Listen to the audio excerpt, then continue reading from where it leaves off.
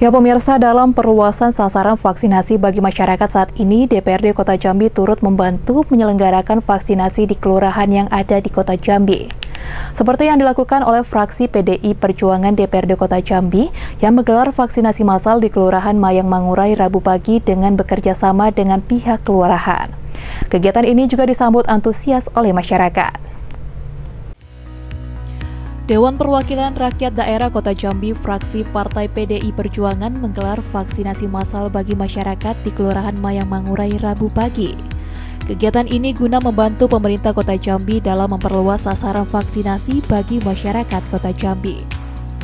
Ketua fraksi PDI Perjuangan DPRD Kota Jambi Maria Magdalena menuturkan, kegiatan vaksinasi tersebut juga didukung oleh Lurah Mayang Mangurai. Terlihat masyarakat juga sangat berantusias mengikuti vaksinasi tersebut dan antrian vaksinasi juga tampak aman dan tertib. Maria juga menjelaskan kegiatan tersebut melayani vaksinasi dosis pertama maupun dosis kedua dengan total vaksinasi yang disediakan sebanyak 300 dosis dari pemerintah kota Jambi dan Dinas Kesehatan.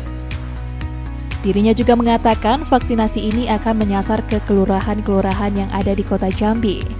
Ia menegaskan pihaknya akan terus melakukan kegiatan vaksinasi bagi masyarakat yang membutuhkan. Sangat berterima kasih kepada semua warga yang mau hari ini divaksin, baik pun ada yang juga vaksin pertama hari ini, ada juga yang vaksin kedua.